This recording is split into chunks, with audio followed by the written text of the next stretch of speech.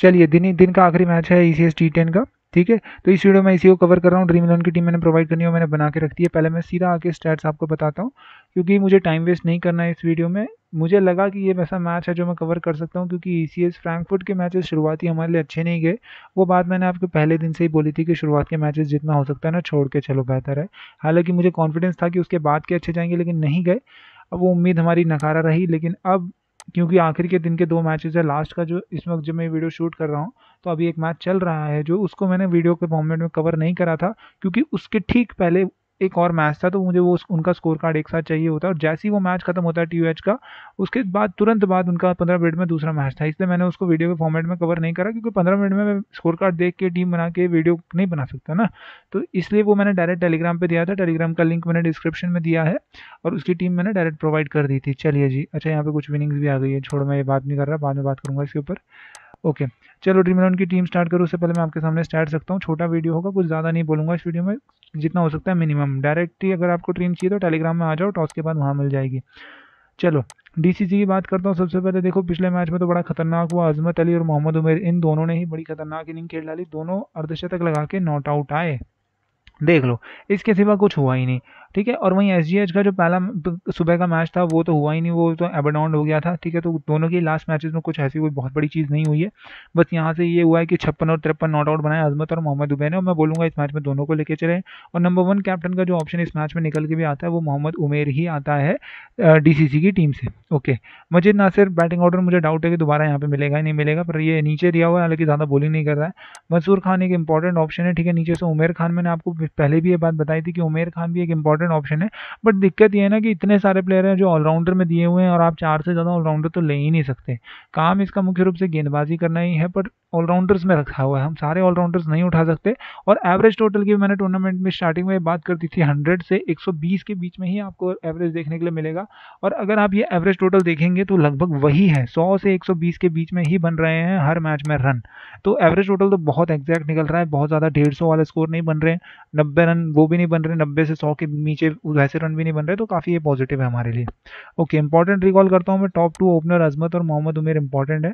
Mansoor Khan important है, मैं बहुत सारे नहीं बोलूँगा क्योंकि मल्टीपल ऑप्शन है बट मैं ज़्यादा ज़्यादा तीन ही बोलूँगा यहाँ से कि ये तीन ऑप्शन इंपॉर्टेंट है जो रखने ही रखने बाकी उमेर, खान भी है, पर ऑलराउंडर आप सारे रख नहीं सकते, वो आपके ऊपर फैसला डिपेंड करेगा। चलो एच की तरफ़ चलते हैं। एच की टीम से सबसे पहले बात करूँ तो टॉप टॉप ऑर्डर से मुनीम मुबाशिर ये इंपॉर्टेंट ऑप्शन लेकिन सेकेंड ऑप्शन रफ़े रफ़े अहमद गई सेवेंटी वन नॉट आउट पिछले मैच में बनाए थे और आपको मैं ड्रीम की टीम दिखाऊँगा, उसमें ये प्लेयर आपको मेरी टीम में नहीं मिलेगा। ऐसा नहीं है, मैं इसको लेना नहीं चाहता, बस दिक्कत ये है कि इसके लिए जगह नहीं बन पा रही है मेरी टीम में। मैं चार ऑलराउंडर ले चुका हूँ, जिसके कारण कि अब मेरे बैटिंग सेक्शन से मैं तीन से ज़्यादा बैट्समैन नहीं ले सकता, ठीक है? और चार बैट्समैन ऐसे हैं बैटिंग सेक्शन में जो मुझे चाहिए तो ये एक ऑप्शन है जिसको मैं नहीं ले पा रहा हूँ। हालाँकि मुझे ये जो खिलाड़ी नहीं चाहिए अपनी ड्रीम इलेवन की टीम में, वो बॉलर में से हैं। बॉलर्स काफ़ी अवेलेबल है बट मुझे दो ही बॉलर लगे लेने लायक तो तीसरा बॉलर मुझे लगा नहीं बट स्टिल मजबूरी में तीन बॉलर लेने पड़ते हैं। तो बस मैं आपको बता रहा हूँ कि अगर आप किसी तरीके से पिक करते हैं तो राफ अहमद को पिक कर सकते हैं। ताहिर आदिल मेरा बड़ा फेथ रहेगा इस मैच में। कैप्टन वाइस कैप्टन सॉरी यहाँ साउंड आ रहा है। ताहिर अहमद पर बड़ा एक कैप्टन वाइस कैप्टन का बड़ा फेथ रहेगा इस मैच में। अली इमरान आपके लिए एक इंपॉर्टेंट ऑप्शन है, ठीक है? तो ये चार जो है टॉप के इन चारों पर बैटिंग की ज़िम्मेदारी रहेगी। आप देख के चलिए इनमें से तीन ले सकते हो। मिनिमम दो तो उठाने, वो फैसला आपके ऊपर है। लक आपका है कौन सा चल जाए। मैं तीनों को, चारों को एक जैसी कैटेगरी में रखूँगा। आपकी किस्मत है। बट इतना कहूँगा कि मिनिमम दो और तीन तो आपको लेके ही चलने हैं इस मैच में। चारों के चारों तो आप नहीं लीजिए तो वही ठीक रहेगा, क्योंकि ज़रूरी नहीं कि चारों के चारों आपको पैंतीस रन, तीस बच्चे पच्चीस करा के दे दें। ये नहीं हो पाता है। टी क्रिकेट है वैसे भी। तो तीन मैं कहूँगा आप लेके चले, ये आपके ऊपर फैसला होगा, पर जिसमें से एक ताहिर आदिल को मैं आपको ज़रूर रिकमेंड करूँगा कि इसको लेके चलो, बाकी का फिर आप फैसला आपके ऊपर है, ठीक है? बाकी नीचे आऊँ तो अली रजबरी ये भी ऑलराउंडर में दिया हुआ, पर लेने में दिक्कत आएगी क्योंकि मल्टीपल ऑप्शन है आपके पास ऑलराउंडर में, ठीक है? बस मैंने आपको यहाँ टॉप फोर बता दिया, इसमें से आपको अपने बेस्ट आपकी किस्मत अगर आप इनके बारे में जानते हैं तो नहीं तो मैंने यहाँ पे टीम बनाई हुई है। मुनीब मुबाशिर को मैंने विकेट कीपर में रखा है, ठीक है? फाइनल टीम में टेलीग्राम पे दूँगा टेलीग्राम का लिंक मैंने डिस्क्रिप्शन में दिया है, मैंने पहले भी ये बात बोल दी है। कलफत कुदार सॉरी कुदार गुदारतुल्ला को आप पिक कर सकते हैं, लेकिन डी की टीम से मिडिल ऑर्डर में खेलने आता है, मैं दिखा भी देता हूँ आपको, ये रहा। मिडिल ऑर्डर में तो जबकि इसकी जब तक इसकी बैटिंग आएगी, तब तक दो ओवर के आसपास बच्चे होते हैं तो उसको देखते हुए मैं नहीं ले रहा और मुनीब मुबाशिर के साथ ही जा रहा हूँ। बेटर ऑप्शन मुनीब मुबाशिर ही है। बस बैलेंस देख सकते हैं आप अगर चाहिए था तो ले सकते थे। हालाँकि कुदार भी ये ओपनर ही है बट नहीं मिल रहा है इसको। ओपनिंग इस टूर्नामेंट में नहीं कराई। ताहिर आदिल मेरा कप्तान है, बड़ा फेथ है इसके ऊपर। सेकंड यहाँ पे राफ अहमद मैंने साइड में दिखाने के लिए रखा है, बस टीम टू में। हालाँकि मैंने पिक नहीं किया है। उसके बाद अदनान नाजिर हैं इनको मैंने अपनी टीम में पिक किया इंपॉर्टेंट रोल दिया। और यासिर अहमद ऑलराउंडर के तौर पर खेल रहा है, भले ही मिडल ऑर्डर में खेल रहा है। काफ़ी लोगों ने कैप्टन बनाया, पर मैं रिकमेंड करूँगा, आप कैप्टन तो ना ही बनाए तो बेहतर है। यासिर अहमद एसजीएस से खेलता मैं दिखा देता हूँ ऊपर। ये रहा। ठीक है? यासिर अहमद, ये रहा पिछले मैच में तीन विकेट लेके आया था। देखो, लोग ये भीड़ चाल वाले काम करते हैं ना, भाई, आप लोग मत करना। मैं आपको रिकमेंड कर रहा हूँ ना, जो नई चीज़ करनी है, वो नहीं बोलूँगा तीन विकेट इसको मिली है। अगर आप एक बॉलर के तौर पर यासिर अहमद को देख रहे हो तो बिल्कुल ठीक है। लेकिन अगर आप एक बॉलर चाह ही रहे हो तो दो ओवर वाला तो भाई, वो काम तो अली राज बारिक भी करके दे देता है। दो ओवर तो ये भी करता है, ठीक है? उसके बाद ताहिर आदिल भी करता है। तो ताहिर आदिल को क्यों ना बनाते जब ताहिर आदिल आपका दो ओवर भी कर रहा है और बैटिंग भी कर देता है। ताहिर आदिल को बनाओ उस केस में तो यासिर सिर्फ़ आपको बॉलिंग करके देगा नंबर सात के आसपास बैटिंग करता आएगा। तो इस केस में ये छोटी समझने वाली बात है कि जो लास्ट मैच में कर गया, ज़रूरी नहीं है वो नेक्स्ट मैच में करेगा। दो ओवर मिले, तीन विकेट मिला ईसीएस में यही होता है, लप्पा घुमाया कैच हुआ विकेट मिला।